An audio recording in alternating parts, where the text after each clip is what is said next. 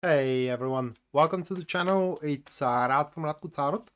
And in this whole video, we're to look into Capricorn Sun, Capricorn Moon, and also Capricorn Rising. Uh, weekly general tarot reading October 18th up until October 24th, uh, 2021. And uh, should you be interested, guys, in a pers personal reading with me, or if you do want to take my tarot classes, uh, checking out the description down below is going to give you a link to my website where you can view and purchase either or both of these services. And as well, if you do enjoy the content here on the channel and you do wish to support us, just leave a like, subscribe, and hit the notification bell so you do not miss any of our weekly uploads and as well uh, live streams. So with that being said, moving uh, to the Capricorn reading, the very first card you Capricorn have, that is going to be the Ten of Swords uh, followed by the second card here, which stands as the Ace of Pentacles. Uh, moving next, that will be the Page of Swords, uh, followed by the fourth card of your spread that stands as the Four of Swords, and the last one we have that is going to be the Eight of Wands. My God, so such a uh, colorful week. It's gonna be like a rainbow ultimately at the end. I mean, uh, people freak out when they see the Ten of Swords, but yeah, I mean, Ten of Swords, it's a rather nasty card when it comes to going through it, but it, it always has a, um, how can I say, a cleansing effect upon one's life. Uh, that is because through Ten of Swords, we are getting done with certain stuff, okay? And uh, once you are done with whatever you are trying to do here or whatever it is bothering your life then obviously the ace of pentacles plays out and that is where the from there the times are going to improve and uh, starting to scrutinize the reading here with the ten of swords right at the start of the week either something is gonna go wrong or simply the knife is gonna hit the bone so hard that it is simply you cannot stand it any longer Ten of Swords, it is like a forceful severing with something, okay? Forceful severing with um, uh, with a friend, for example, forceful severing with uh, with a job, or severing with with with beloved one, okay, with a relationship. It is a, uh, for the most part, a severance.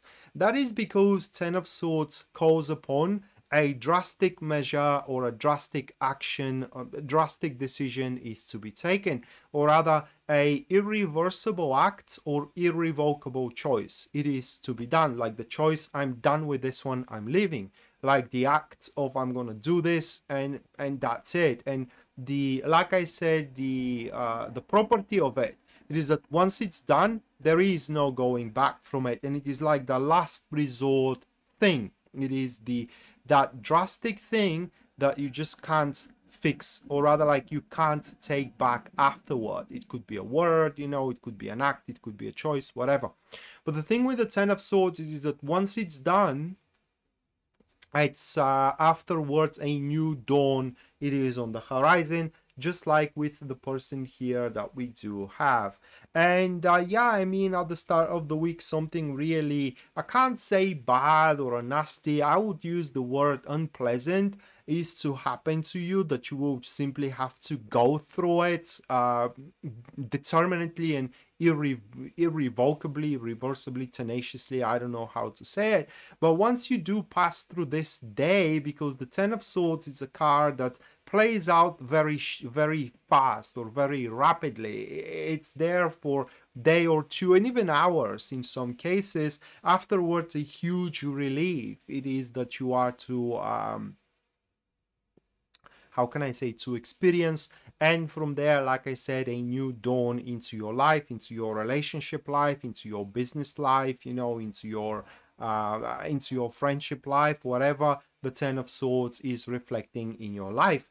And uh, right after that, the Ace of Pentacles plays out for you. And the Ace of Pentacles, right after you do make that um, irrevocable uh, decision or irreversible action, you get to enjoy a rare opportunity to further your goal, like to further the goal to be successful, to further the goal to be lucrative, to further the goal to be loved. The thing is that once you do make that very difficult push with the ten of swords afterwards you are to experience content uh, joyfulness um, exhilaration, even ecstasy in some particular cases, because what follows after it is a very good business maneuvers, very successful business maneuvers, and as well a harmonious relationships should you keep up with the um, with the love life.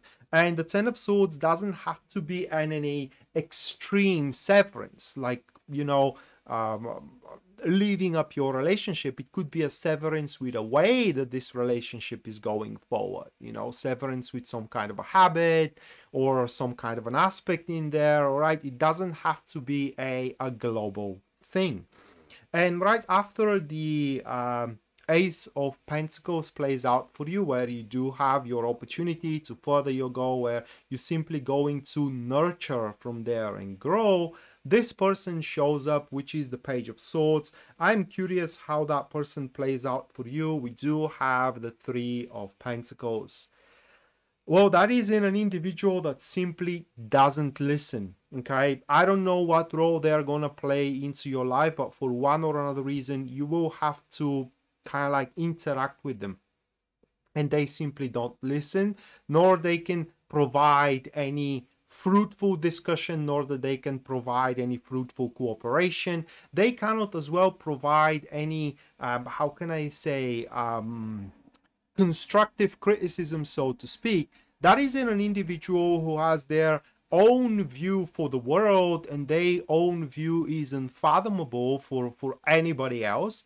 And for that reason that individual feels like they're the lonely wolf out there. They they're in a world where it is free for all okay? Uh, they're constantly misunderstood. They're constantly smothered. They're constantly um, um how can i say apprehended. They're constantly um undermined.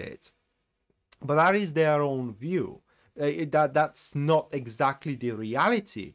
And uh, like i said i don't know how they exactly gonna play out but my my suspicious here it is that they are simply gonna be an individual that you cannot get rid of that easily because for some kind of a ties or connections but they are going to cause a plight or a predicament simply because you cannot make them work harmoniously with you either in friendship or either into uh, into career. You know that could be that person into your social circle that you just cannot get rid of and they're always there making a disturbance. They're always there that stands against whomever says anything and uh, right after that, uh, the Four of Swords uh, plays out for you, which is towards the end of the week, Capricorn. And that is where you will you wouldn't even remember that you had to make that difficult push at the start of the week, where you have to render your verdict, make your adjudication, and whatever happens happens afterwards. Here with the Four of Swords, you are to see how your concerns, how your plights, you know, how how your problems and difficulties are start abating to a point where the diminishing is going to be so big that they will no longer going to have a relevance into your life.